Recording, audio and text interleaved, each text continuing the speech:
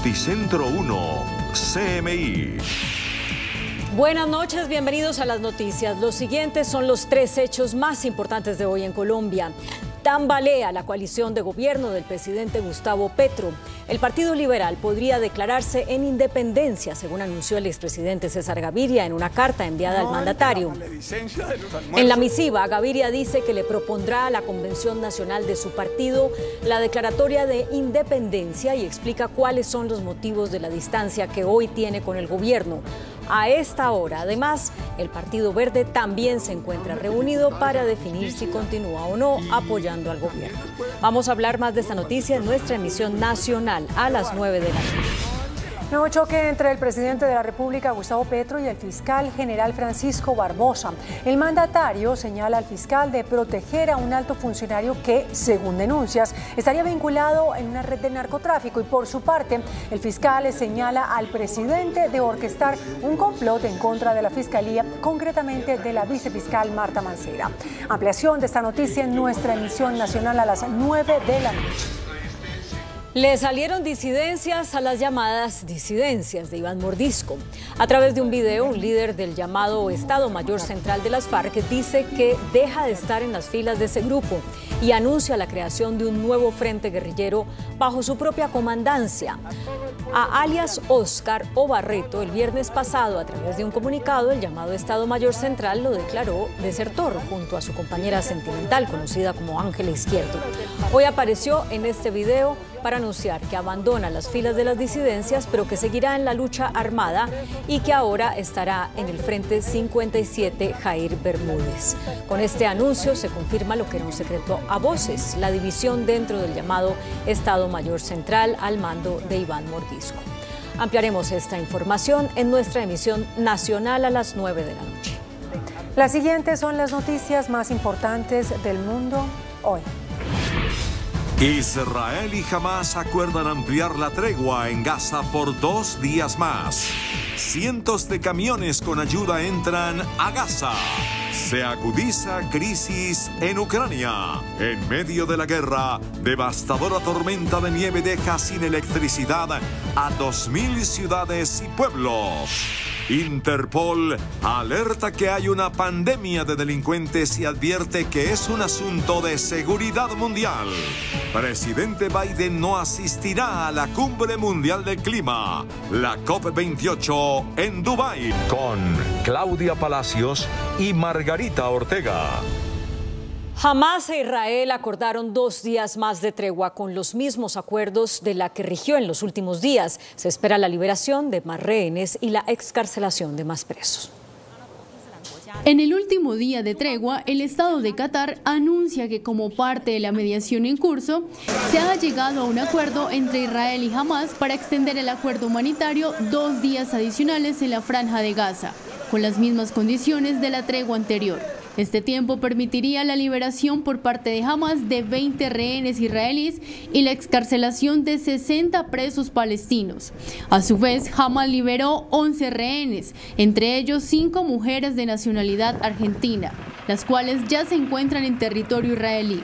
Por su parte, Israel excarceló 33 presos palestinos, 3 mujeres y 30 niños. Por otro lado, el ministro de Defensa de Israel ha asegurado que las Fuerzas Armadas retomarán la ofensiva sobre la franja de Gaza con más fuerza cuando termine la actual tregua pactada con Hamas y que actuarán en todo el enclave palestino. Ante la visita de Elon Musk a Israel, anuncia un acuerdo preliminar para no activar los servicios de Internet por satélite Starlink en Gaza. Entre tanto, la tregua entre Israel y Hamas ha permitido la entrada de 248 camiones con ayuda humanitaria a Gaza que permitirá mitigar la crisis en la zona. Ante la extensión de dos días más de tregua entre Israel y Hamas, la comunidad de Gaza podrá recibir más ayuda humanitaria y así mitigar la crisis por la que están pasando ante la falta de suministros como agua, alimentos y energía. Las Naciones Unidas han anunciado que un total de 248 camiones con ayuda humanitaria llegaron a la franja desde el inicio de la tregua. De ese número, 61 ingresaron con suministros médicos, comida y agua en el norte del enclave. La Media Luna Roja Palestina hoy ha ingresado 40 camiones adicionales. Además, 11 ambulancias, 3 autocares y un vehículo de plataforma fueron entregados al Hospital Alchifa para continuar con las evacuaciones de pacientes que requieren atención médica prioritaria. Por su parte, el ministro de Sanidad de Gaza anuncia que el Departamento Médico de Diálisis de Al-Shifa, el que había dejado de prestar servicio por la falta de electricidad y el ingreso de Israel a la instalación para hallar pertenencias de Hamas, vuelve a funcionar. Por lo que el ministro hace un llamado a todos los pacientes que necesiten de tratamiento asistan al centro médico para ser atendidos. La Unión Europea excluyó a Hamas de un futuro proceso de paz. Los ministros de Exteriores de la Comunidad Política Europea y árabes pidieron que la autoridad palestina retome el control de Gaza y anunciaron desde Barcelona que se debería prolongar el alto el fuego en la franja todo lo posible. De unión por el Mediterráneo. Fuertes nevadas aislaron a 2.000 localidades de Ucrania y dejaron sin electricidad a millones de usuarios en Rusia. Fuertes nevadas aislaron 2.000 localidades en Ucrania y dejaron sin electricidad a millones de usuarios en Rusia. A su vez, dejó 8 fallecidos. Las fuertes precipitaciones que están cayendo sobre buena parte del territorio ucraniano han obligado a cerrar 14 autopistas. La tormenta también azotó el sur de Rusia y provocó olas que inundaron el balneario de Sochi, volando el tejado de un edificio de cinco plantas en Anapa y dañó viviendas y escuelas en Kubán. El gobierno de Crimea pidió a la población quedarse en casa y cerró las instalaciones gubernamentales, incluidas escuelas, hospitales, ya que esperan que continúen los fuertes vientos. Por su parte, los enfrentamientos entre las tropas rusas y ucranianas se pausaron tras las tormentas de nieve y las bajas temperaturas. Ambos bandos han tenido que antrincherarse para pasar el invierno, reviviendo los recuerdos del invierno del 2022, cuando Rusia concentró sus ataques en las estructuras energéticas ucranianas. Finlandia se prepara para el cierre total de la frontera con Rusia ante el continuo paso de migrantes, según las autoridades migratorias. Solo en noviembre han llegado a Finlandia unos 900 refugiados de terceros países a través de Rusia. Esto es 30 veces más de lo habitual y pese al cierre de siete de los ocho puestos fronterizos. El único abierto actualmente es el de Murmansk en el Ártico. Interpol emitió un nuevo informe sobre la cifra de delincuentes identificados durante el 2022 en el mundo, concluyendo que existe en la actualidad una epidemia de delincuencia organizada transnacional. More than 10,000 fugitives wanted for crimes including murder, rape and fraud. De esta manera, la Organización Internacional de Policía Criminal comunicó que ayudó a identificar, localizar y detener el año pasado a más de 10.000 delincuentes buscados por diferentes delitos en todos los países.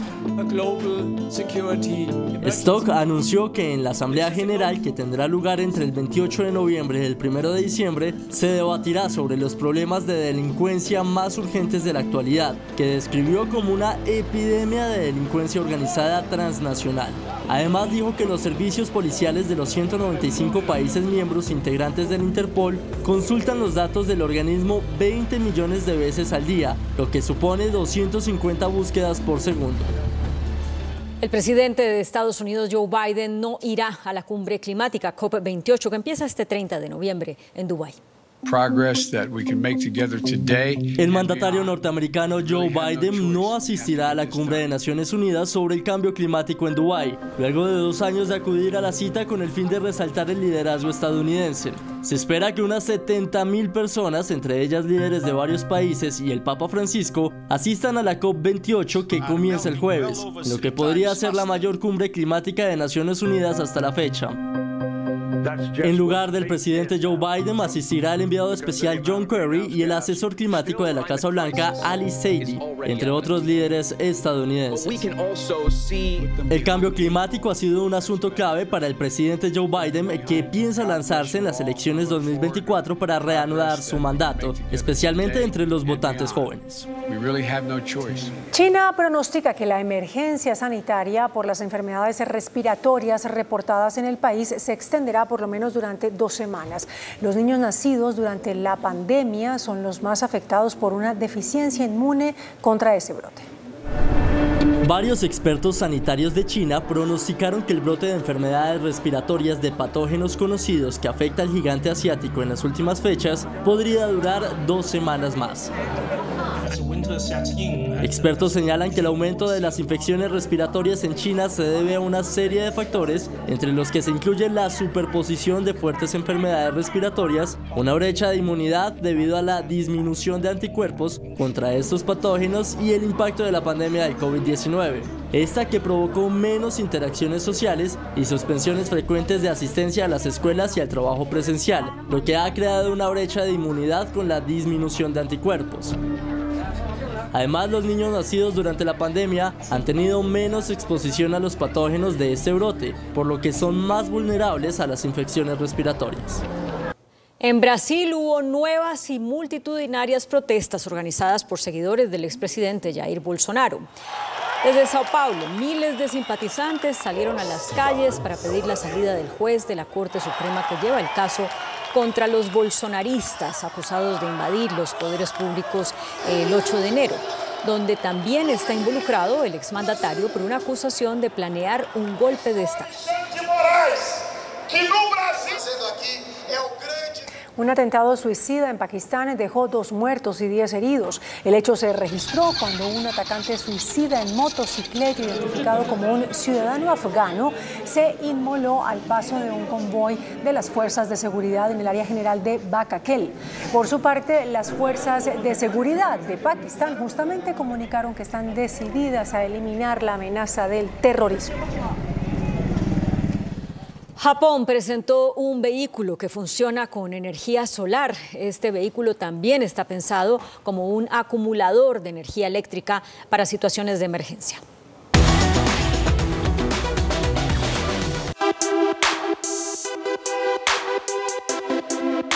Se trata del nuevo K-Truck, una mini furgoneta japonesa de 3.4 metros de largo, la cual está pensada para ser el vehículo más práctico posible. Salvo sus dos plazas delanteras, todo en ella es espacio de carga, lo que es realmente útil en las ciudades más colapsadas y de calles estrechas.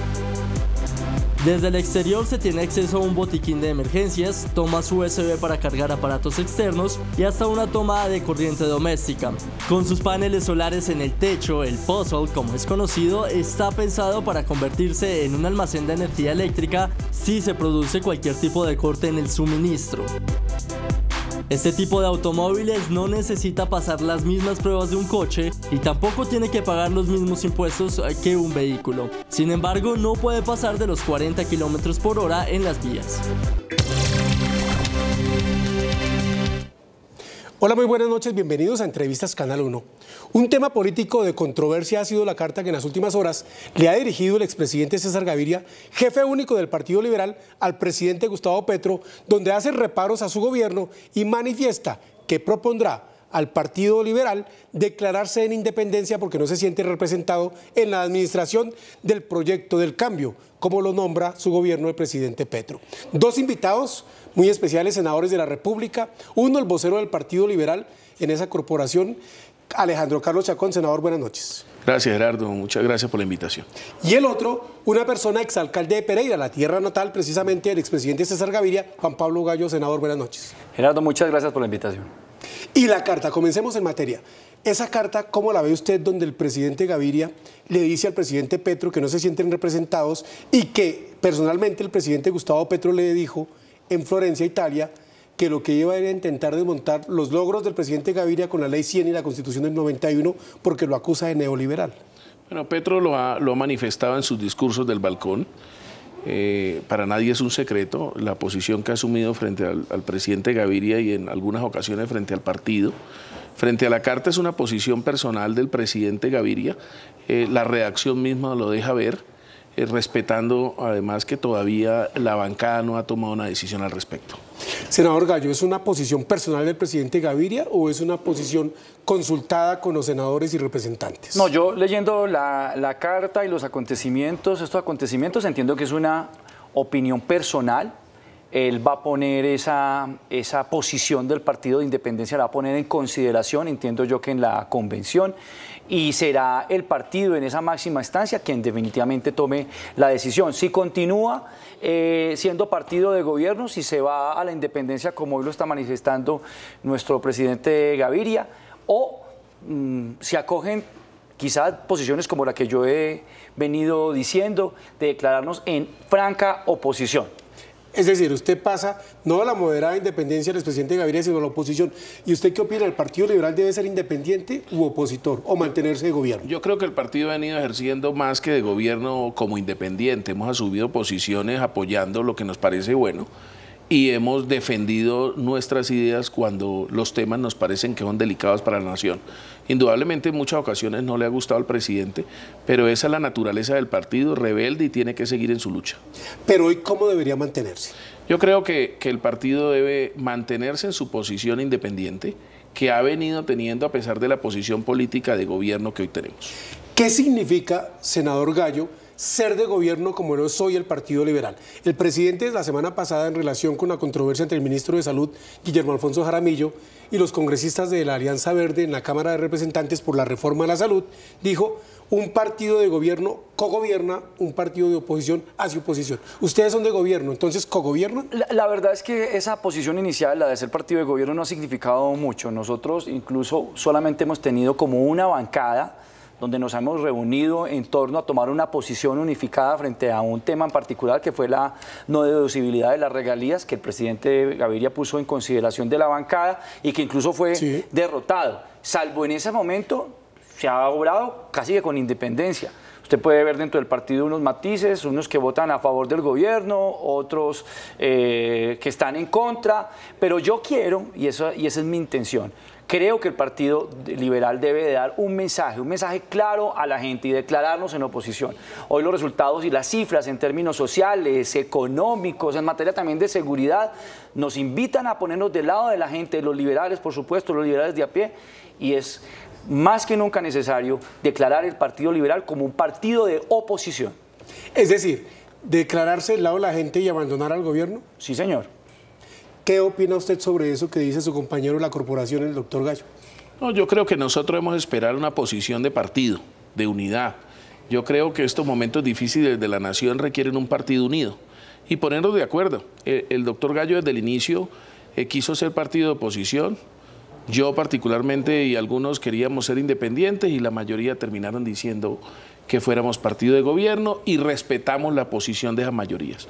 Ahora eh, se va a hacer una nueva baraja del ejercicio político de la posición del partido con el gobierno y serán las mayorías las que decidan eh, lo que sucede. Yo creo que un partido no debe estar al vaivén de las encuestas, un partido no debe estar al vaivén de lo que piensa el ciudadano. En general, un partido debe estar al vaivén de lo que necesita eh, de verdadmente el país con el Congreso de la República. Hay cosas, esto no es blanco y negro, hay unas cosas que han sido importantes que la hemos venido acompañando, como reconocerla eh, eh, como derecho fundamental y proteger los derechos de los campesinos, dejarlo constitucionalmente. Queremos defender que se vuelva un derecho fundamental, indudablemente la educación, especialmente la superior en Colombia. Hemos venido defendiendo la jurisdicción agraria para defender y que los campesinos puedan tener tierra, pero hay unos temas que definitivamente no vamos a aceptar y si la posición del gobierno es incomodarse porque asumimos posiciones políticas distintas a ellos, pues no hay forma de que sigamos en el gobierno y tenemos que cambiar de postura política. Dice el presidente Gaviria en la carta que le envió al presidente Gustavo Petro que no tiene representación del Partido Liberal. No obstante, por ejemplo, el actual ministro de Justicia, Néstor Osuna, estuvo con la bancada liberal y en la casa del presidente Gaviria haciendo como propio ese ministro. ¿No está el ministro Osuna a nombre del Partido Liberal en el gabinete del presidente Petro? Eh, lo que tengo entendido y queda más muy claro con la carta es que el Partido Liberal como tal no tiene una representación y pienso yo que está bien que no la tenga porque eso nos permite o bien tomar esa posición de independiente o bien la que acabo de sugerir, la de la, de la oposición. Pero creo que el palo no está para cucharas, o sea, eh, ni, ni, el momento, ni la situación, ni siquiera en términos políticos, está para ser parte del partido de gobierno, ese partido de gobierno. Dice su compañero, el senador Alejandro Carlos Chacón, que el partido no se puede mover al vaivén de las encuestas. ustedes están moviendo los que quieren declararse en oposición al vaivén de esas encuestas que hoy tienen una publica el presidente Gustavo Petro dice que ganaría las elecciones si las elecciones volvieran a ser hoy y otras en su mayoría que hablan de una cada vez más reducida favorabilidad y de apoyo a su gobierno. Gerardo, yo creo que el papel de los senadores o los congresistas, más de cualquier dirigente, cualquier líder en cualquier parte del mundo es interpretar a la gente. Y hoy lo que nos dice el ciudadano del común, el que con el que nos encontramos en la calle todos los días, nos está sugiriendo, diciendo, pidiendo, solicitando que tomemos unas posiciones. Y esas posiciones son muy distintas a las que está asumiendo el gobierno nacional. Por ejemplo, nos preocupa, incluso con, el senador Chacón en eso coincidimos mucho, algunos puntos, parte eh, fundamentales de, alguna, de algunos de los temas de la reforma. Nos preocupa ese tipo de temas no, podemos entrar ni a apoyarlos, ni a pupitrarlos, ni nada por el estilo. Eh, o declararnos en independencia, o como lo vengo sugiriendo, en oposición, nos va a dar la posibilidad de interpretar ese ciudadano y votar conforme a lo que hoy nos está reclamando la gente. Quienes dirigen, digamos, la opinión, aunque los ciudadanos no son tontos y ellos analizan y miran, son ustedes los dirigentes políticos que tienen esa representatividad que los eligió tanto en Senado como en Cámara, alcaldías, gobernaciones y demás cargos de nivel ejecutivo el tema de lo que quiere el ciudadano no es una forma facilista, senador Gallo, de irnos porque como que el palo no está para cucharas? Pero es que no solamente lo que pide el, ciudadano, es que si usted se va a los indicadores brutos, que sobre eso no puede, no puede haber mayor debate, si usted se va al crecimiento económico que hemos tenido, es que salvo lo que ocurrió en pandemia en los últimos 24 años, nunca habíamos tenido un decrecimiento económico, nunca. Y se contrajo la industria, y se contrajo el comercio, y se contrajo la construcción. Estamos pasando por un momento de desconfianza absoluta. Desarrollo habla de, una contracción en la confianza industrial del 3,7%. Eh, se contrajo la inversión. O sea, fíjese que no solamente estoy hablando de percepción, estamos hablando de indicadores que nos muestra el panorama actual. Y puedo también mencionar en términos de seguridad, la manera que ha crecido la extorsión, el secuestro y demás. Eh, yo creo que aquí el Partido Liberal, que ha sido el partido de la gente, solo tiene que ubicarse en el lado correcto de la historia, que es la posición.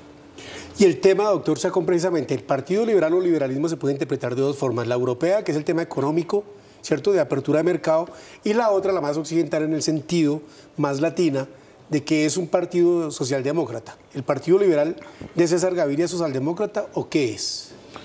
Yo creo que nosotros tenemos diferentes tendencias ideológicas, unas socialdemócratas, unas liberales de mercado más radical, y el partido fue grande cuando respetaba las tendencias ideológicas.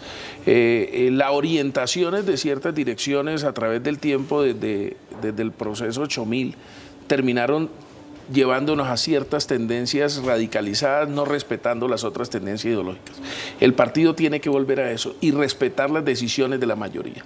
Recordemos cuando el partido tenía personas como Uribe, a personas como Vargas Lleras, eran personas que tenían línea institucional liberal nosotros tenemos unos criterios distintos de ver las cosas, los liberales. Competían eh, con Horacio Serpa, que era mucho más de izquierda. era más social. Exacto, y cuando llegaba la mayoría se decidía y se apoyaba. Cuando no hubo una suficiente democracia, se fue Uribe y terminó creando otro partido. Aquí la gente ha olvidado los partidos de tradición que hemos creado, la historia de este país. Los otros son coyunturas políticas. Y yo creo que lo que ha sucedido a través del tiempo en estos últimos años es que la gente perdió la orientación ideológica de lo que somos. Ejemplo, eh, hay unos que hablan de la seguridad como represión institucional. Los liberales no hablamos de la seguridad como represión institucional. Son principios fundamentales la seguridad para los liberales, pero para la protección de los derechos de los ciudadanos, fundamentales. Ejemplo, yo no persigo a la guerrilla o no persigo al delincuente por represión al delincuente, lo persigo para proteger al ciudadano, porque no puede estar el ciudadano a merced del secuestrador. Entonces hay que caer con la seguridad y con la fuerza del Estado como corresponde, pero los liberales la usamos para proteger a los ciudadanos.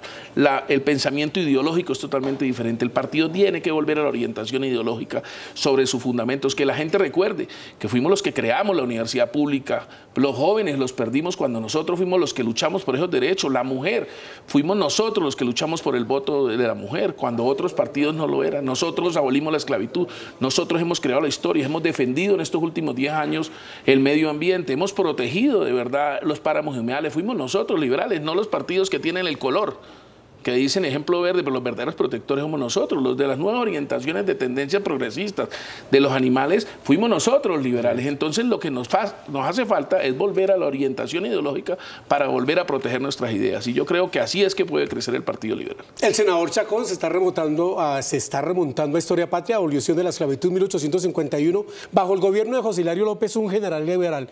Y el voto de la mujer, permitido en 1957, bajo la dictadura, después del plebiscito en la dictadura de Rojas Pinilla. Vamos a unos comerciales y regresamos para analizar, senador Gallo, por supuesto, estos temas de coyuntura tras la carta que le envió el expresidente César Gaviria al presidente Gustavo Petro y que conmociona el panorama político nacional ante una posible declaratoria de independencia o de oposición del Partido Liberal. Regresamos a Entrevistas Canal 1, analizamos la carta del expresidente César Gaviria dirigida al presidente Gustavo Petro, donde dice que le propondrá a su colectividad, 14 senadores, ¿verdad? Sí. 35 representantes a la Cámara que se declare como partido de independencia. Y hablamos también con Juan Pablo Gallo, senador, decimos de Pereira, que parecería, dicen muchos, es el alter ego del presidente Gaviria del Congreso de la República. Hablamos, doctor Gallo, que usted dice que las reformas no tienen futuro. ¿Significa que, por ejemplo, la reforma a la salud del Partido Liberal no la debe votar como está de acuerdo con lo que dice el presidente Gaviria en esa carta al presidente Petro. Lo que pasa es que nosotros ya hemos trazado unas líneas rojas en ese proyecto, en la reforma a la salud y en otras. Incluso líneas rojas que las pusimos en consideración al gobierno nacional, que pedimos incluyeran la reforma, porque nosotros creemos que es necesario eh, una reforma a la salud, como es, una, es necesaria una reforma laboral o una pensional pero creemos que no de esta manera. Nosotros identificamos unas líneas rojas, pedimos incorporar y nunca hubo ninguna posibilidad y se cerraron frente a eso. Eh, y así es muy complicado. Ahora, con todo y eso, en Cámara, que ahorita el debate ha pasado por Cámara, no ha llegado todavía al Senado. Encontramos que hay representantes a la Cámara que están acompañando esa, esa reforma y seguramente ese es el llamado del, del, presidente eh, César Gaviria para tomar una posición, una única posición, ya de partido. Si vamos a ser de oposición, si vamos a ser de gobierno o si vamos a ser de independientes. Senador Chacón, usted dijo en la plenaria de la corporación la semana pasada que el partido y el Congreso en general no podía darse el lujo de dilatar, dilatar, estudiar, estudiar, sino tomar una decisión o aprueba o hunde las reformas. ¿Por qué esa apreciación? Porque yo considero que el decrecimiento económico eh, se está generando también por un caos institucional. No solo es la responsabilidad del presidente, es también la responsabilidad del Congreso de la República de tomar decisiones rápidas. Una reforma laboral que puede terminar un año durando en el Congreso de la República y unos empresarios sin saber en qué condición van a estar eh, laboralmente y sus empresas y su responsabilidad frente al, salario de los trabajadores, pues indudablemente hace que un empresario no invierta en el país. Eso hace que, que no haya inversión en la nación. Entonces, nosotros también somos responsables. Si una reforma no nos gusta, hay que hundirla rápidamente. Y si es buena, hay que acelerarle el paso a la, y la reforma a la salud, por ejemplo, lleva más de un año de discusión. Claro, y, uno lo ve exactamente, la salud, mire, el, solo el hecho de esa reforma, ya hay unas GPS que están con crisis, crisis porque como no sabemos de reforma, también el gobierno ha demorado en el pago que corresponde al parecer a ellas. Y eso está generando también una crisis en la salud. Ahora, también hay que reconocer que ha sido una lucha muy ardua que le corresponde al Congreso rápida de evolucionar en ciertas reformas como esa. Entonces no se acaben las GPS, no se van a acabar. Eh, la integración vertical, yo he sido hace más de siete años, he estado de acuerdo con que acabe en ejemplo de integración vertical. ¿Qué, es integración vertical? Que es que la EPS tiene clínicas, tiene IPS, tiene centros de atención y contratas con ellos. Claro, el mismo que administra el recurso al que le estamos dando, porque aquí hay mucho capitalista que se dedicó no a ser capitalista real de generar producción, sino a vivir de la renta del Estado y solo cobrarle por administrar la plata del Estado. Entonces, las EPS administran los recursos de la salud, pero además tienen otra empresa que la crean en muchos casos con la misma plata esa y terminan solo pagándole a la empresa suya, teniendo un mejor servicio y a la otra que no es su empresa, no le giran los recursos como corresponde. Eso es una lucha que el Partido Liberal ha dado hace más de 6, 7 años, ganamos una vez, acabamos con la integración vertical y en una conciliación nos tumbaron a la norma los liberales. Entonces hay cosas que necesariamente se requieren. Hay pueblos de este país que no tienen salud, que no tienen sino un médico rural, que requieren que tengan un mejor servicio. Entonces sí es posible mejorar la salud. Lo que no vamos a permitir es que acabe grave el sistema que hemos creado a través de tanto tiempo que superó la cobertura del 17% a casi el 95% de los sectores rurales. Se entusiasmó el senador Chacón hablando de salud, pero permítame, porque el senador Gallo también, que es nuestro otro invitado, parece, con los argumentos que da el senador Chacón, y se lo digo, senador, parece usted petrista y usted con la declaración antipetrista. ¿Esos son ustedes en el Congreso, a pesar de estar en el Partido Liberal? No, fíjese que no, nosotros incluso coincidimos en muchas posiciones. Eh, sin, siquiera pues ponernos de acuerdo, sino que a la hora de votar coincidimos, nos encontramos, eh, digamos, en muchas maneras de entender y ver. Mm, y creo yo que hace parte de lo que es el Partido Liberal, diferentes formas de pensar, diferentes matices. El respeto por la diferencia es uno de nuestros grandes valores dentro del partido. ¿A qué atribuye usted, senador Gallo, que en la carta del presidente Gaviria se queje del desarrollo de la Constitución que fue creada gracias a la desmovilización del M-19, del cual hacía parte el movimiento guerrillero Gustavo Petro y presidente de la República, y que permitió y operó bajo su gobierno el presidente César Gaviria, que su delegado, por supuesto, fue el entonces ministro de Gobierno, después ministro del Interior y luego jefe negociador con la guerrilla de las FARC que la desmovilizó, Humberto de la Calle. ¿A qué atribuye que peleen Petro y Gaviria por el desarrollo de una constitución que ambos ayudaron desde dos movimientos a crear? Sí, a mí también me, llama la, me llama la atención lo mismo. Y digamos, cuando significó tantas cosas, por supuesto que no es perfecto y, en el tiempo te tienen que ajustar, las normas tienen que ajustarse cuando, cuando las sociedades van cambiando como esta. Pero yo creo que las victorias de la Constitución no son menores, la, tutela, por, por, por, llamarla uno. Pero me parece particular que hoy estén en discrepancia porque en espíritu recogió todo. Recogió lo del Partido Liberal, pero también recogió lo de una izquierda que en ese momento tenía haciendo asiento en la... En la pues 33%, de la Asamblea Constituyente, 33% del Partido Liberal y 33% los conservadores. Y todas las reformas que se derivaron, como, como la Ley 100 del 93, que precisamente hoy está aquí en debate, no solamente por reforma a la salud, sino también reforma pensional. Y reforma laboral. Y reforma laboral que hace parte también del meollo del asunto que hoy nos tiene en, este, en esta posición, pensando si, dónde ubicarnos. Decía él que no es antipetrista y usted... No, pues yo primero hago chaconismo. Nunca he sido gobernista y, vos lo sabes, Gerardo. Yo creo que lo que pasa es que hace falta reconocer también que dentro de las reformas hay temas que son trascendentales que hay que mejorar. Lo que no podemos permitir, es lo que decía con anterioridad, que es precisamente destruir lo que durante 200 años de república nosotros hemos construido. La constitución del 91. A nadie se le olvide que dónde está la, plata de las pensiones de antes del 93. Eso es construido después de la constitución. Hoy tenemos más de 400 billones de pesos en que el 70% de los ahorros de los colombianos se ha tenido en rendimientos. 70% más hoy hay de la los fondos privados, que es la pelea del presidente Claro, entonces, ¿en dónde, dónde no estamos de acuerdo? Y no estaremos de acuerdo. En donde se le quite la libertad libertad al ciudadano de escoger en qué fondo quiere estar son las libertades que tiene el ciudadano y como liberales defendemos las libertades eh, eh, que existen para hoy en día en la escogencia, ejemplo, de las suspensiones. Pero hay que recordar también que no podemos llegar al pasado donde hoy no sabemos cómo estaban los recursos y dónde estuvieran hoy los recursos de los pensionados, que pudiera estar por el orden de los 600 billones que tuviéramos en caja en unos fondos para solventarlo de los pensionados. Y hoy no existe, porque antes del 93 se hicieron inversiones, se volvió la caja menor del Estado, terminaron haciendo inversiones y hoy el presupuesto esto es quien cubre precisamente las pensiones que debieron estar antes del 93. Eso fue lo que hizo, hicieron con la Constitución los liberales. Lo que hicimos con la salud, el daño que dicen que hicimos con la Constitución, con la salud posteriormente, ese gobierno liberal fue precisamente pasar del 17 y 34 en los cascos urbanos a pasar a más del 95% en cobertura en salud. Senador Gallo, con ese diagnóstico que hace de defensa del Partido Liberal, de defensa del ideario y de la Constitución de 1991, su colega Alejandro Carlos Chacón, ¿usted votaría como están las reformas a la salud, pensional y laboral? No, es que de hecho las vamos a votar negativo. Yo ya manifesté públicamente quien les habla que la reforma a la salud lo va a votar negativo. Y hemos estado estudiando la reforma pensional, que tiene cosas buenas, ¿no? Pero, pero, pero no soluciona los problemas fundamentales que es cobertura y sostenibilidad. Y nos preocupa la reforma laboral porque es que aquí no solamente tenemos que pensar en los trabajadores que hoy pueden disfrutar de un empleo, sino de los más damnificados de nuestro mercado laboral, que son aquellos que se encuentran por fuera, que todos los días se levantan con la angustia, con el deseo de poder conseguir un trabajo y que no lo logran. En ellos tenemos que pensar. Y en la medida que cargamos de costos laborales a nuestro sector productivo, lo que vamos a, tener es la posibilidad de crear menos plazas de trabajo. ¿Y usted votaría esas reformas, eh, senador Chacón? Lo primero que hay que decir, Gerardo, es que eh, como partido de gobierno no hemos sido llamados a construir esas reformas, que es lo más lógico que no solo se llame al pacto histórico, sino como partido que veníamos de gobierno a ayudar a construir y a opinar sobre lo que eran las reformas. Por eso de pronto no ha sido posible ser oídos en nuestras diferencias en la reforma.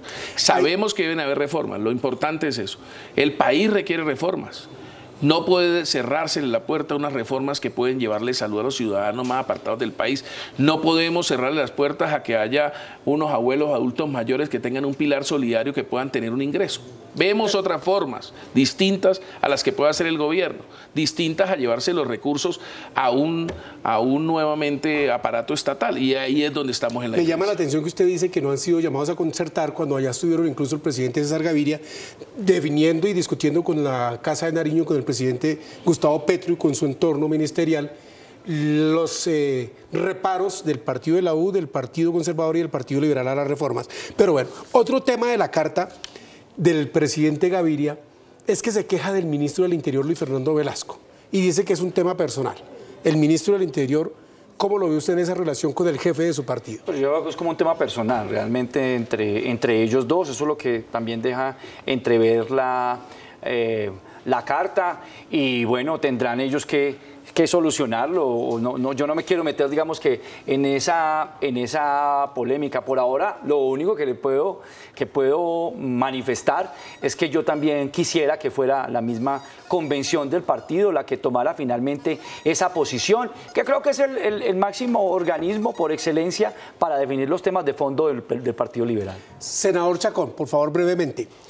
¿Habrá convención del partido? Lo dice el presidente César Gaviria, porque esa es una de las cosas que le dice el presidente César Gaviria, que no ha convocado convención para elegir nuevos directivos. Tiene que haberla, además es una obligación legal que ya tenemos vencido, además el periodo que teníamos superior a dos años, que teníamos de convención, por supuesto, y es una obligación legal. No es porque nos lo ha dicho el Consejo Nacional Electoral. El Consejo Nacional lo que hace es una alerta y le dice, señores, cumplan.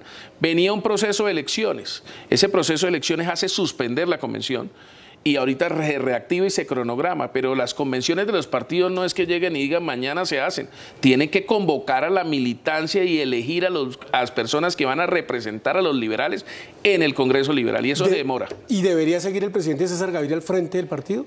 Eso es una decisión que se debe tomar en la, en la convención, yo creo que por ahora está muy prematuro, no tenemos ni siquiera cronograma, no sé Alejandro si no, conocemos. Se, reactiva en los próximos días, entiendo no tenemos ni fechas, pues. Ahí están dos de nuestros invitados hoy.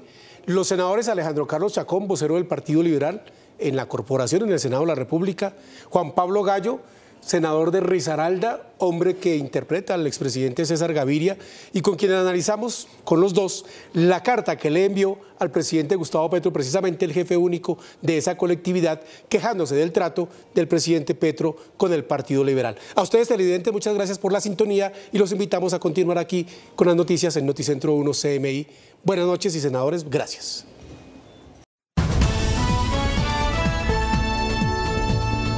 Noticentro 1, CMI. Tambalea la coalición del gobierno. Expresidente Gaviria anuncia que el Partido Liberal podría declararse en independencia. Sería un anacronismo a lo Milei, responde presidente Petro a anuncio del expresidente Gaviria. Partido Verde analiza si sigue apoyando al gobierno o se declara en independencia. Fiscal Barbosa asegura que en el gobierno Petro se orquesta un complot contra la Fiscalía General. 1.400 personas desplazadas en el sur de Bolívar por enfrentamientos entre grupos armados. Gremios piden mesura en aumento del salario mínimo, cuya negociación arranca mañana. Condenan a nueve años de prisión a concejal de Barranquilla por falsificar el diploma del colegio y la libreta militar. Le salen disidencias a las llamadas disidencias de Iván Mordisco. Trabajadores denuncian que déficit de personal complica operación en aeropuertos. En debate de presupuesto para Bogotá, denuncian en el Consejo que las tarifas de Transmilenio subirían. Cae estadounidense que viajaba una vez al mes para abusar de menores en el país. Encuesta del Banco de la República señala que la inflación seguirá bajando. Hay éxodo de usuarios de fondos privados a Colpensiones, asegura su presidente. El Partido Liberal podría declararse en independencia del gobierno nacional, según la carta que le remitió hoy el expresidente César Gaviria al presidente Gustavo Petro. En la misiva, Gaviria explica cuáles son los motivos que lo distancian del gobierno de Petro.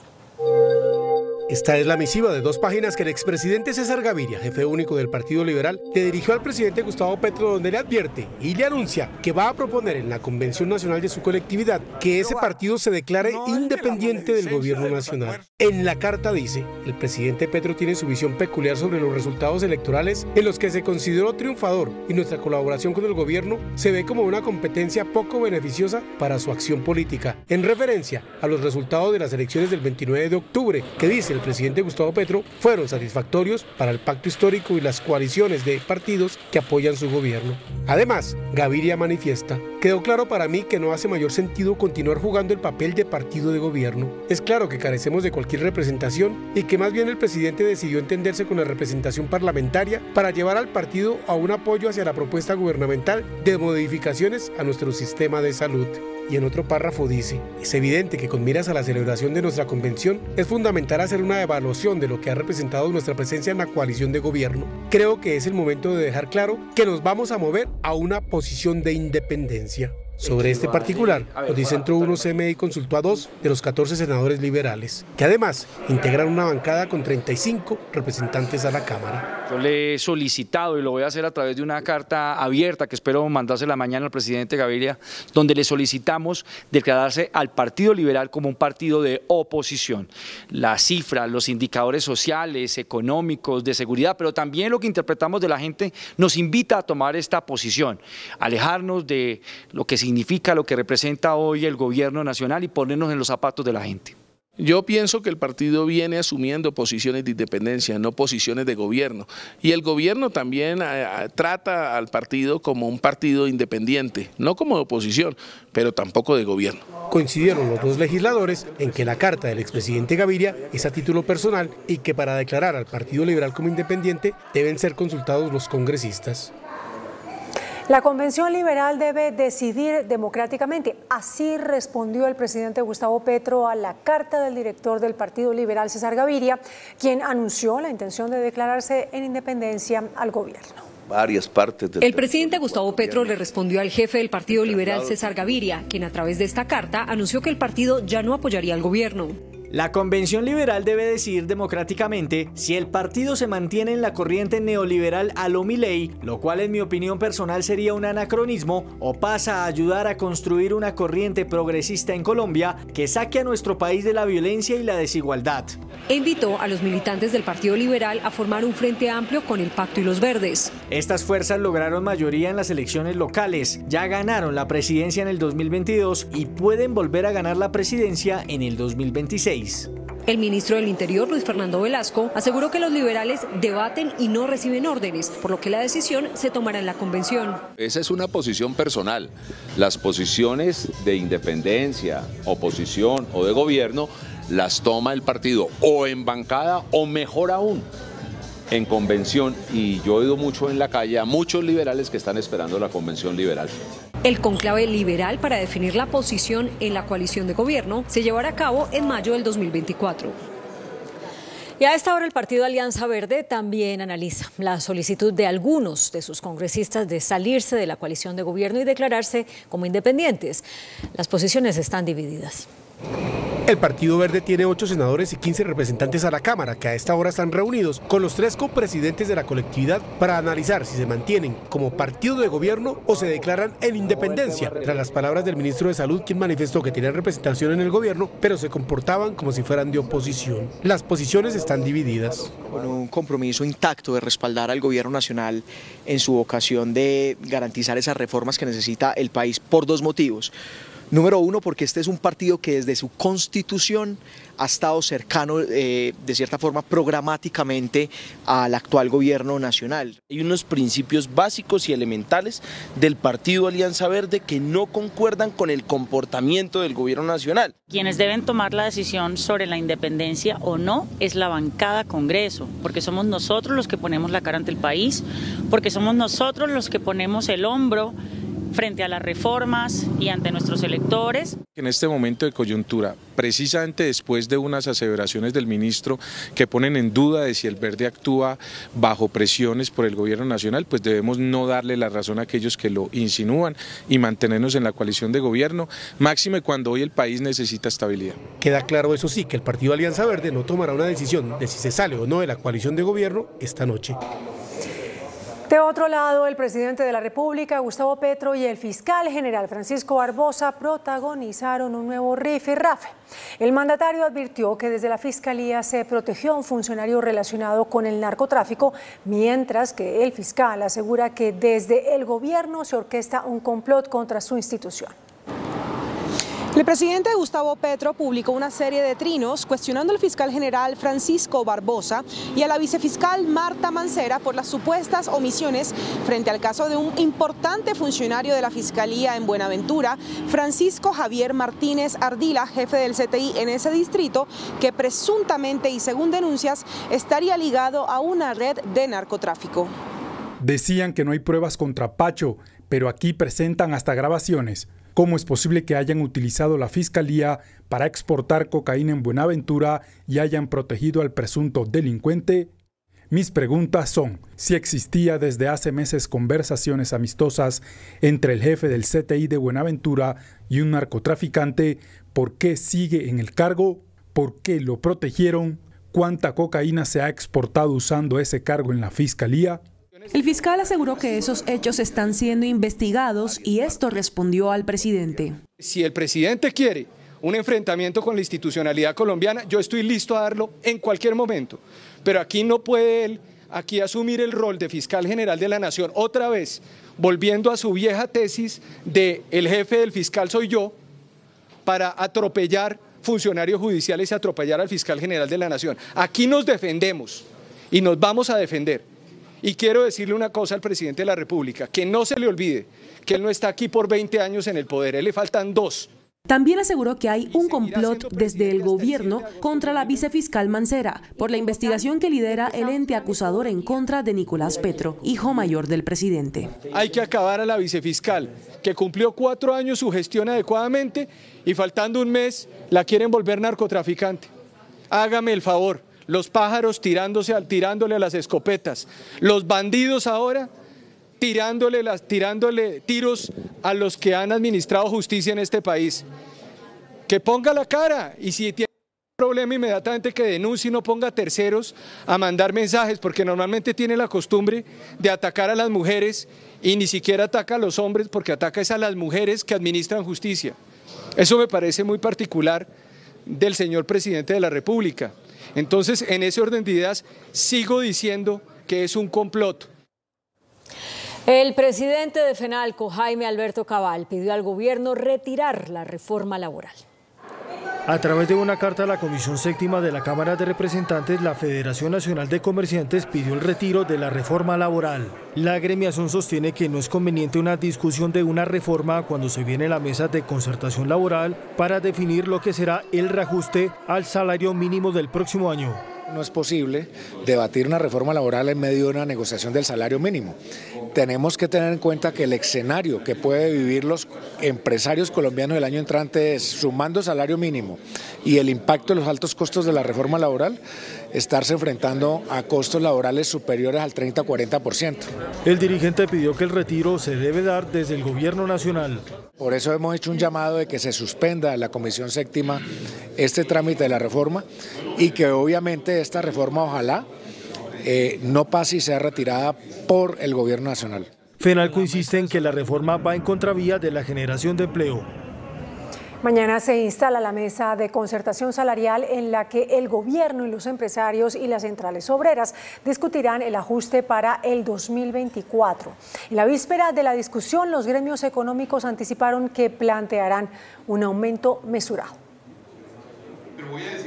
Los voceros de los principales gremios empresariales llegarán mañana a la mesa de concertación salarial con un mensaje sobre la delicada situación económica que viven muchas empresas. Es que tener en cuenta que el escenario que puede vivir los empresarios colombianos el año entrante es sumando salario mínimo y el impacto de los altos costos de la reforma laboral, estarse enfrentando a costos laborales superiores al 30-40%. No, estamos esperando un poquito a ver informaciones como lo de el dato de productividad, estamos esperando las proyecciones de inflación, estamos esperando las proyecciones de actividad económica y con esto vamos a ver realmente qué tenemos. Este año tenemos una economía que está golpeada. A su turno, el presidente de la SAC dijo que en la discusión se debe tener en cuenta la informalidad del sector, que supera el 84%. Aquí hay que buscar una concertación, como la se ha logrado en los últimos años, con mucha objetividad, pensando obviamente y esperando el dato de la inflación de noviembre que saldrá la primera semana de diciembre, a ver qué pasa con la productividad y teniendo en cuenta que la economía colombiana no pasa por un buen momento. La ministra de Trabajo y su equipo citaron a empresarios y a trabajadores para mañana a las 8 en punto para comenzar a discutir el aumento salarial. El ministro de Salud, Guillermo Alfonso Jaramillo, le pidió a la Contraloría que funja como árbitro en la controversia por las deudas que reclaman las entidades promotoras de salud y las que reconoce el gobierno. Hoy estuvieron reunidos en la Contraloría voceros de distintas EPS y las autoridades gubernamentales en salud, revisando los estados financieros y las acreencias reclamadas por ambos bandos, sin llegar a acuerdos. Estamos pidiéndole a la Contraloría una auditoría forense para saber qué está pasando con los recursos. Que el total de recursos generados como faltante por no pagarse por parte de las GPS es de 25.1 billones de pesos. No es posible que al país le estén diciendo las EPS que les deben 6 billones, cuando en los registros del ADRES, que les ha pagado más de 80 billones este año, y contando lo que queda del presupuesto nacional del plan de desarrollo, que son 800 mil o un billón de pesos, no pasaría de un billón y medio. Una diferencia de 5 billones en las cuentas es inexplicable y es para mí contabilidad creativa de algunas EPS. Las EPS no tomaron la palabra al término del encuentro, pero se comprometieron, según afirmó el Contralor, a no suspender sus servicios ni afectar el derecho a la salud de los colombianos. Y a esta hora avanza una manifestación de trabajadores y usuarios de Sanitas que se tomó el oriente de Bogotá en defensa de la EPS. Desde el planetario hasta el Ministerio de Salud, cientos de manifestantes se movilizaron en defensa de la EPS Sanitas, que asegura atravesar una crisis económica. Que se entable una mesa de diálogo con nuestro presidente de la EPS Sanitas, que podamos llegar a un acuerdo, no solamente que nos escuchen, sino que adicional nos den una solución. Sanitas es una empresa con una trayectoria demasiado limpia y queremos invitarlos a que nos auditen. Nosotros no tenemos nada que esconder, somos una empresa muy limpia. Asociaciones de usuarios también participaron de la protesta. Discutiblemente la incertidumbre viene afectando la prestación de los servicios. Los usuarios en la angustia nos volcamos cada día más y pues los trabajadores en su angustia también se ven afectados en su desarrollo de la actividad. El tráfico por las carreras séptima y 13 está afectado y la manifestación se desarrolla de manera pacífica. Le salieron disidencias a las disidencias de Iván Mordisco. A través de un video, un líder del llamado Estado Mayor Central de las FARC anuncia que deja de estar en esas filas y la creación de un nuevo frente guerrillero bajo su propia comandancia haciendo acusaciones temerarias.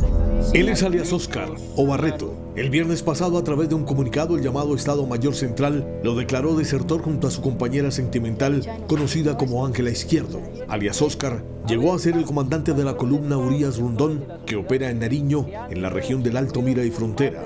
Había pactado una tregua en la región con la segunda Marquetalia que después de dos meses se rompió porque no llegaron a acuerdos para dividirse la zona. Tras ser declarado desertor, anunció su separación del Estado Mayor Central, negó las acusaciones y dice que deja a Urias Rondón y anuncia la creación de un nuevo frente de guerra, el Frente 57 Jair Bermúdez, que estará bajo su mando. No puede uno eh, apasionadamente andar haciendo acusaciones temerarias eh, ante el país y ante los demás camaradas, confundiendo y creando más división. Con el anuncio de alias Oscar de dejar el Estado Mayor Central, se consolida una noticia que se conocía pero que no había salido a flote y es la supuesta división al interior de las tropas comandadas por Iván Mordisco, es decir, las primeras disidencias de las disidencias. Pues a mí ya me toca defenderme porque yo no me voy a dejar matar, eso sí quiero que lo tengan claro, pero que pues eh, ya es porque me toca y me pusieron fue contra la cuerda y pues ya es la de ellos o es la mía. Para los conocedores del conflicto, esta división en el Estado Mayor Central podría generar una diáspora al interior de esta guerrilla que llevaría a que más unidades guerrilleras abandonen la estructura dirigida por Iván Mordisco. Una grave crisis humanitaria se vive en el sur de Bolívar por el desplazamiento de cientos de personas debido a los enfrentamientos entre grupos al margen de la ley. Esta es la crítica situación que se registra en varios municipios del sur del departamento de Bolívar. El enfrentamiento entre grupos al margen de la ley ya deja más de 1.400 personas desplazadas de sus territorios. en área rural de Arenal, Morales y Santa Rosa del Sur se vienen dando unos enfrentamientos entre grupos armados ilegales que están en disputa de minas con oro ilegal. Esa es la situación que se viene dando. En el lugar ya han aumentado el pie de fuerza según la Secretaría del Interior para retomar el control en la zona. Son cerca de 500 familias y más de 1.400 personas que han resultado en condición de desplazamiento en las últimas horas en el sur de Bolívar, en los municipios de Montecristo, Arenal, Morales y Santa Rosa producto de los enfrentamientos que se presentan en la zona de grupos al margen de la ley, del ELN y el Clan del Golfo. La situación del orden público definitivamente es, eh, es bastante grave. Nosotros estamos asediados por, por esta violencia, este conflicto que nos está afectando a nuestras comunidades. La Defensoría del Pueblo, por su parte, aseguró que se activó la misión humanitaria para brindar atención a los cientos de familias desplazadas. De igual manera, las autoridades pidieron mayor apoyo del gobierno nacional para afrontar la situación. El expresidente de la República, Álvaro Uribe Vélez, rindió hoy una versión libre ante la Fiscalía sobre la masacre del Aro y el asesinato del defensor de derechos humanos Jesús María Valle. Durante poco más de tres horas, el presidente rindió una declaración en versión libre ante el fiscal Javier Cárdenas, que él mismo solicitó. Su petición guardó relación con una declaración que entregó este año el ex jefe paramilitar Salvatore Mancuso, en la que aseguró que Álvaro Uribe, en calidad de gobernador de Antioquia, tenía pleno conocimiento de la masacre de 16 personas cometida por las autodefensas en el corregimiento de El Aro, en Ituango ocurrida en octubre de 1997. Uribe también declaró por el asesinato del defensor de derechos humanos y abogado Jesús María Valle, ocurrido cuatro meses después. Valle fue reconocido ampliamente por ser un activo denunciante contra el paramilitarismo. Este ejercicio está destinado a seguramente salir rápidamente en favor de Álvaro Uribe Vélez. El afán y la urgencia que tienen está relacionado con que se acaba esta administración de impunidad y quieren seguramente cerrar todos los casos. Y esta tarde el expresidente Álvaro Uribe arreció sus críticas contra el ex jefe paramilitar Salvatore Mancuso y contra la Jurisdicción Especial para la Paz JEP. Tras rendir su versión libre en audiencia privada ante la Fiscalía General de la Nación, luego en rueda de prensa en la sede del Centro Democrático, el expresidente Álvaro Uribe arremetió contra Salvatore Mancuso. Que la tragedia de Mancuso a Colombia no tiene sino un objetivo, darle impunidad a cambio de que maltrate mi honra en esa fabricación de infamias para que a mí me pongan preso y también contra la Jurisdicción Especial para la Paz, JEP. La JEP lo que ha hecho es desprestigiarme, Y sobre eso estas Eso es lo que usted considera. Sí, lo que yo considero. Y esta, esta investigación lleva tantos años. E- empe- empezaron a perseguirme desde el año 94, cuando me eligieron gobernador de Antioquia. ONGs internacionales de izquierda y el colectivo de abogados que ahora anuncia que va a pedir investigación en Argentina. El exmandatario insiste en que él nada tiene que ver con la masacre del Aro y con vínculos con paramilitares. A 150 se elevó el número de líderes sociales asesinados en lo que va de este año. Esto a pesar de los diálogos y del cese el fuego con el ELN y con el llamado Estado Mayor Central y también a los acercamientos con el Clan del Golfo. Mi nombre es Luis Mendoza, líder social. Él era Luis Mendoza, líder social de San Marcos Sucre y el más reciente asesinado por sus posiciones y la causa que defendía y que dejó como constancia en este video. Hoy exigimos de que esas actas que le están presentando a la, al ANLA para ampliación de esa licencia tenga el consentimiento de todos los propietarios de los predios, más no de los presidentes de acción comunales, porque los presidentes no somos dueños de los predios, los predios son dueños de los vinqueros, entonces eso no se concertó. Y es justamente esa la principal razón por la que este año 150 líderes y luchadores sociales han sido asesinados. Siguen presentándose unas conflictividades territoriales en algunas zonas, no es en todo el país, especialmente en el Cauca, en la costa nariñense, en Catatumbo sur de Bolívar y nordeste antioqueño. Son algunas zonas donde las conflictividades territoriales hacen que los líderes sociales pues estén presentando sus intereses en contravía de los intereses en muchos casos de multinacionales, pero también en contravía de los intereses de imposiciones de estas dictaduras locales que pretenden tener los grupos armados en las zonas. Pese a la disminución en el número de líderes asesinados, estos homicidios no cesan. El gobierno nacional respondió a las quejas de los gremios económicos sobre el deterioro de la seguridad. El Ministerio de Defensa alista cambios para hacer frente a delitos como el secuestro y la extorsión. El viceministro de Defensa Alberto Lara dijo que los cambios normativos en el accionar de la fuerza pública buscan agilizar la respuesta contra el delito. Hemos hecho una revisión de decretos, resoluciones y directivas que eh, de alguna manera entorpe- entorpecen el eficaz cumplimiento de la labor de la fuerza pública. Por ejemplo, en materia de la protección en los territorios y en las carreteras.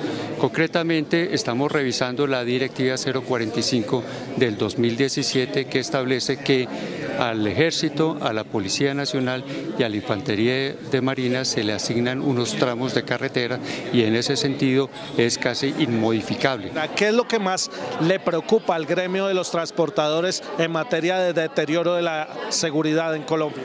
Lo que más nos preocupa es que hemos visto disminuido el pie de fuerza en los departamentos y especialmente en las carreteras, sobre todo en aquellos departamentos donde hay mayor presencia de conflicto armado, pues realmente son casi inexistentes.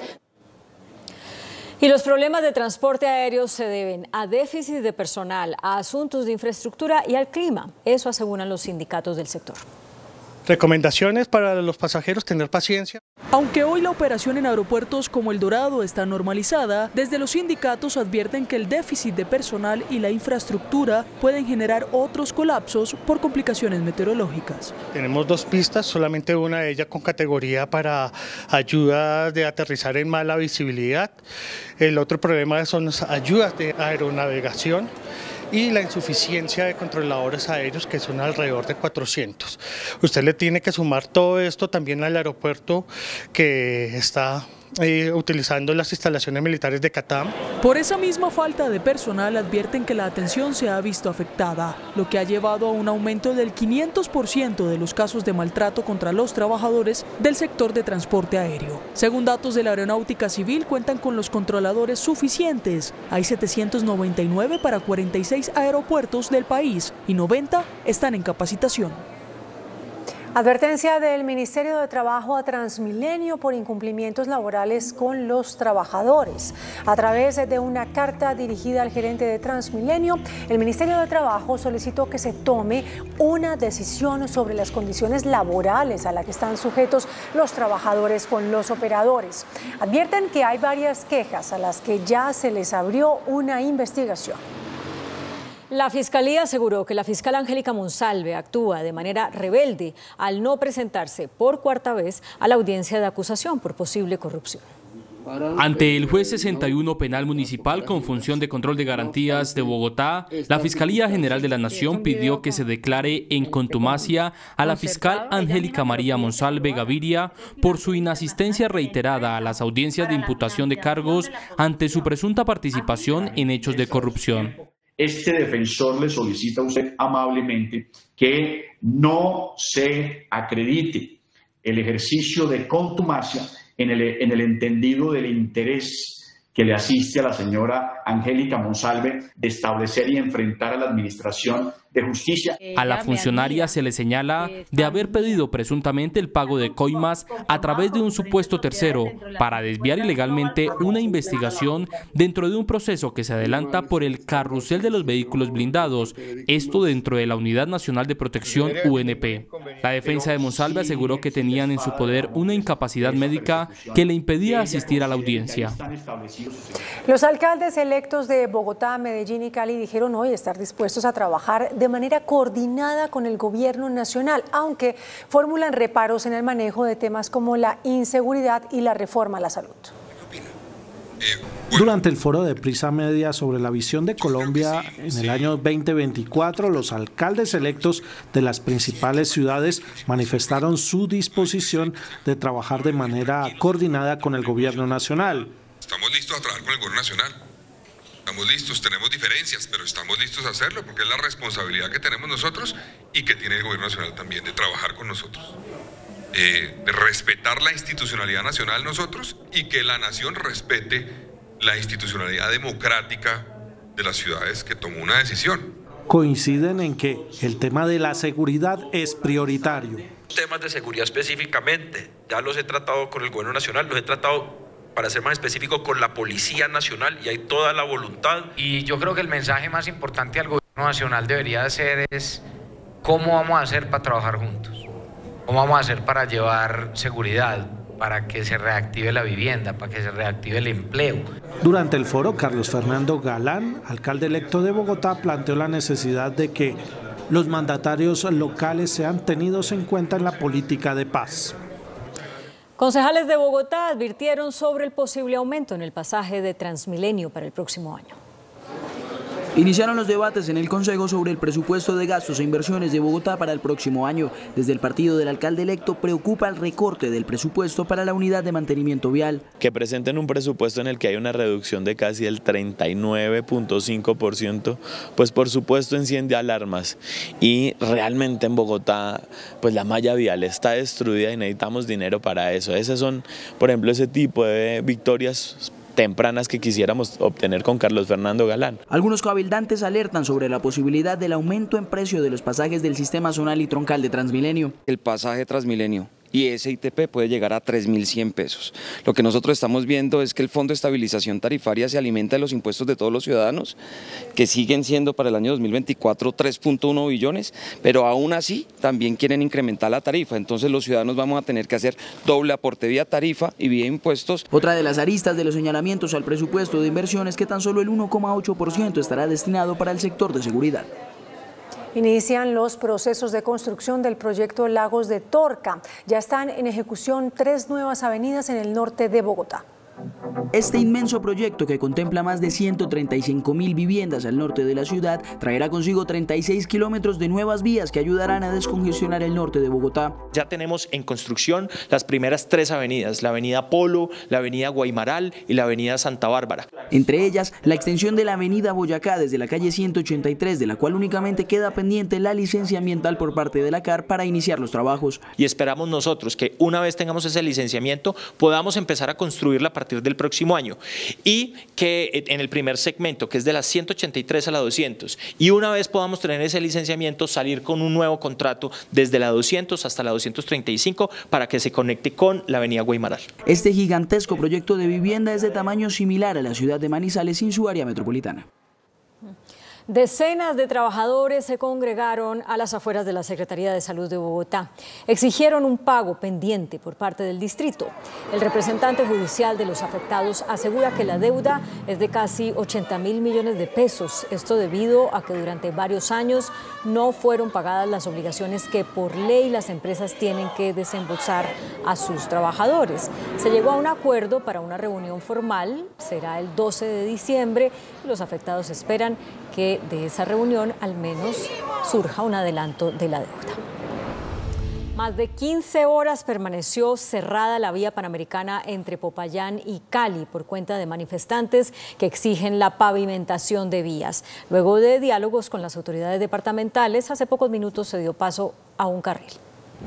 El incumplimiento en la pavimentación de 6.6 kilómetros de vía obligó a las comunidades y transportadoras del municipio de Cajibío a cerrar la vía panamericana entre Popayán y Cali en el sector del Cairo. Hemos esperado de un contrato que tenía que ejecutarse en ocho meses, llevamos a dos años.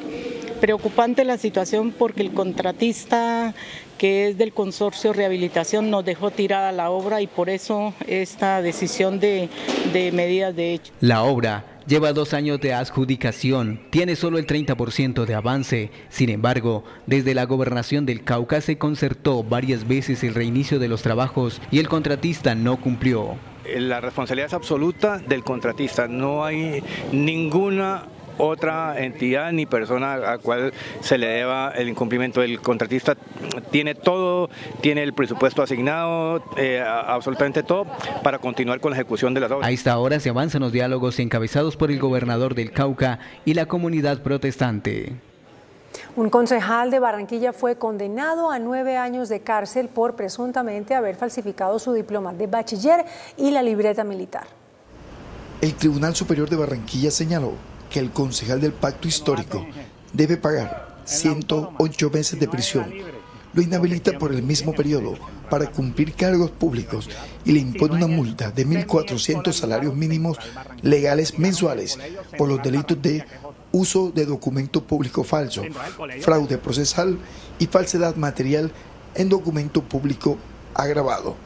Revocó una decisión de un juez el pasado 30 de junio el concejal niega los cargos y defiende la idoneidad de su título de bachiller. Nosotros siempre lo que hemos hecho y lo que hemos dicho es presentar mis argumentos, mis pruebas, que no hemos falsificado ningún documento. ¿Cuáles son sus pruebas?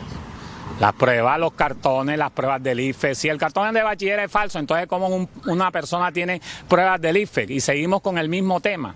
Para tú acceder a ser bachiller tienes que presentar la prueba del IFE y entonces tienes que llenar un, un formulario del colegio, tienes que tener el código de un colegio para que puedas acceder a esas pruebas. El tribunal le concede al concejal el sustituto de prisión domiciliaria previo pago de una caución de cinco salarios mínimos legales mensuales y el político anuncia el recurso extraordinario de casación ante la Corte Suprema de Justicia. Silvia Juliana Carvajal Montaño, de 17 años, estudiante de bacteriología, fue dejada en libertad tras permanecer secuestrada 17 días en Sardinata, en norte de Santander. Se desconoce qué grupo armado la mantuvo cautiva y si sus familiares pagaron algún dinero por su liberación. Hoy mismo se reencontró con sus padres. A esta hora es sometida a chequeos médicos. Según las autoridades en norte de Santander, actualmente hay 12 personas secuestradas. En la región tienen incidencia el ELN y las disidencias de las FARC. En la ciudad de Miami fue capturado un ciudadano estadounidense señalado de abusar de menores de edad en Colombia. Un trabajo articulado entre Estados Unidos y Colombia permitió la captura de un ciudadano estadounidense que venía a Colombia una vez por mes para abusar de menores de edad de Bogotá y de Medellín. Al iniciar la investigación hace nueve meses, se da con la identificación de las menores y de esta persona que es un ciudadano americano de 38 años, quien pues fue expulsado de la lucha libre, que era lo que se dedicaba a hacer, llamar como un actor de, pues, de pornografía. La Dirección de Protección de la Policía Nacional tiene registradas a al menos 18 víctimas, niñas menores de 18 años de colegios públicos. Él les hacía creer a las adolescentes que eh, ya se había realizado la vasectomía y con falsos documentos que les mostraba a ellas les pretendía mostrar que no tenía enfermedades de transmisión sexual, lo cual a la fecha establecemos que sí, porque algunas de las víctimas presentan pues, enfermedades. Esta persona será condenada en Estados Unidos. En San Andrés fue incautado un millonario cargamento de cocaína. La Armada de Colombia encontró 55 kilos de cocaína dentro de una motonave, así como 45 kilos de marihuana, todo avaluado en 2 millones de dólares. La droga estaba empacada en 128 paquetes y sería enviada hacia Guatemala. El Contralor General en funciones, Carlos Mario Zuluaga, anunció una indagación por la duplicidad de pagos de nómina que recibieron funcionarios del Estado la semana pasada. La indagación cobija al ministro de Hacienda, Ricardo Bonilla, y a otros funcionarios y pretende determinar si hubo irregularidades en esos pagos y velar por la recuperación de la totalidad de los recursos. No cesan las capturas por corrupción dentro del INPEC, el Instituto Nacional Carcelario y Penitenciario. En 2023 aumentaron 56%. En las últimas horas, el CTI de la Fiscalía capturó a tres funcionarios del INPEC. Se trata del mayor Guillermo Hernández Aguilar, comandante de vigilancia, el dragoneante Eiber Alexis Vargas González y el dragoneante Cristian Camilo Silva Aparicio. Tenemos 3.900 funcionarios investigados disciplinariamente, de los cuales 138 son directivos, 133 son administrativos. Los más recientes funcionarios capturados habrían participado de una organización delincuencial denominada El Comité. Esta es la cifra de funcionarios del IMPEC capturados en 2023. 32 capturas se han hecho con la Fiscalía, pero también hemos capturado más o menos 125 funcionarios tratando de ingresar elementos no permitidos, como celulares, como sustancias superficientes en todo el país. La mayoría tienen que responder por el delito de concierto para delinquir agravado con fines de extorsión. La Corte Suprema de Justicia avaló la extradición a Estados Unidos de Sebastián Meneses Toro, hijo del conocido narcotraficante alias Don Mario. El hijo de Daniel Rendón Herrera, de 24 años, es requerido por una corte de California por los delitos de concierto para delinquir y tráfico de estupefacientes. Servicio Noticentro 1 CMI. Mucha atención porque solo hasta el 29 de este mes puede ser efectivo los beneficios de su certificado electoral. Tienen derecho a un descanso de media jornada laboral. Quienes han desempeñado el cargo de jurados tienen derecho hasta una jornada y media de descanso. Cuando hay empate en un concurso para ingresar a una universidad pública, debe darse prioridad en el ingreso al estudiante que acreditó haber votado. Los beneficios del 10% aplican para el descuento de matrículas en universidades públicas. En segundo lugar, descuentos para la expedición del pasaporte y en tercer lugar, para la expedición de la libreta militar. Una poderosa tormenta de nieve agudiza la crisis en Ucrania y deja a millones de personas sin energía. Israel y Hamas ampliaron la tregua en Gaza y la Interpol advierte sobre una epidemia de criminales. Las noticias del mundo en Noticentro 1 CMI. Las fuertes nevadas que están cayendo en el territorio de Ucrania han obligado a cerrar 14 autopistas. A su vez, dejó sin electricidad a unas 2.000 localidades en 16 regiones. Además, Rusia señaló que unos 2 millones de usuarios se encuentran sin energía eléctrica en medio de las bajas temperaturas, por lo que 8 personas han fallecido.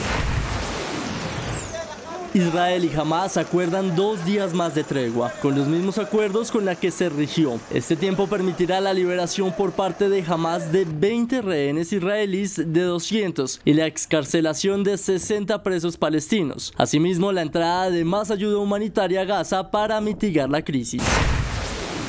El secretario general de la Interpol informó que la institución ayudó a identificar, localizar y detener el año pasado a más de 10.000 delincuentes buscados por diferentes delitos. También alertó de una pandemia de delincuencia organizada internacional en los últimos años en todo el planeta. Analistas del mercado financiero consultados por el Banco de la República esperan que la inflación siga bajando, pero gradualmente. La noticia económica del día En la encuesta de expectativas del Banco de la República, los agentes del mercado financiero esperan que la inflación siga cediendo en el mes de noviembre, pero gradualmente. Para este periodo se proyecta un índice de precios de 0,46%, mientras un año atrás se ubicaba en 0,77%. Se presenta una estabilidad de precios, pero aún se siente el alza en el precio de la gasolina. Para el cierre del año se prevé 9,51%. Vemos que incluso la inflación en Colombia está más o menos al doble de los comparables en América Latina. Para Casa de Bolsa con este escenario en inflación será difícil que el Banco de la República baje sus tasas hacia el cierre del año como lo esperan varios sectores. Nosotros consideramos que la inflación sigue alta y creemos que el Banco de la República debería empezar a reducir su tasa de intervención en el año 2024 y este año no lo debería hacer. La inflación mantiene riesgos como el fenómeno del niño. La administradora pública de pensiones Colpensiones reportó un aumento en el número de afiliados a fondos privados que se trasladaron a esa entidad buscando una mejor jubilación.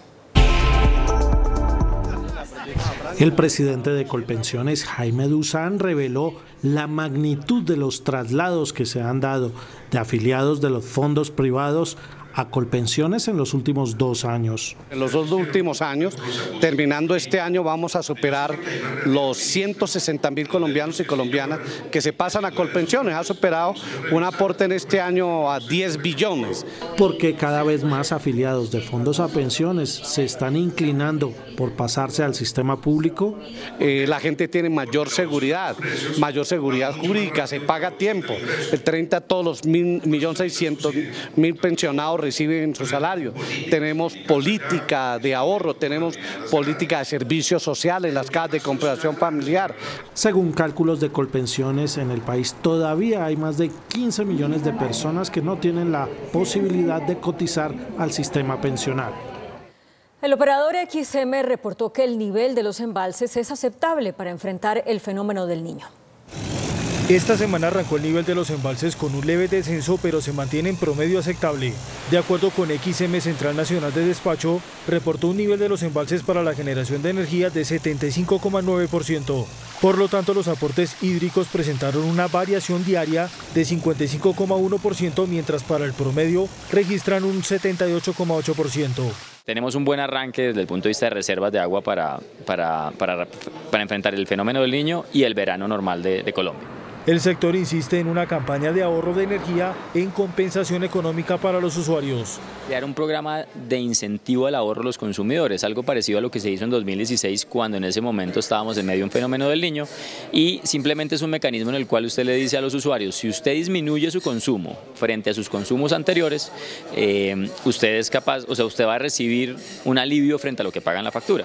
Desde la CREC se trabaja para evitar alzas desmesuradas en las tarifas de energía. El índice de capitalización de la bolsa, que mide el comportamiento de las 25 principales acciones, cerró a la baja. El índice selectivo MSCI Colcap de la Bolsa de Valores de Colombia bajó 0,68% a 1.127 puntos. La acción de la Bolsa de Valores de Colombia fue la que más subió, con una valorización de 3,27% a 10.740 pesos. La acción de Con Concreto fue la que más bajó, con una pérdida de 2,51% a 233 pesos. La acción más negociada de la jornada fue la de Cementos Argos, al movilizar más de 14 mil millones de pesos, con una variación positiva de 0,56% a 5.390 pesos. Y el dólar cerró a la baja. Indicadores económicos en Noticentro 1 CMI.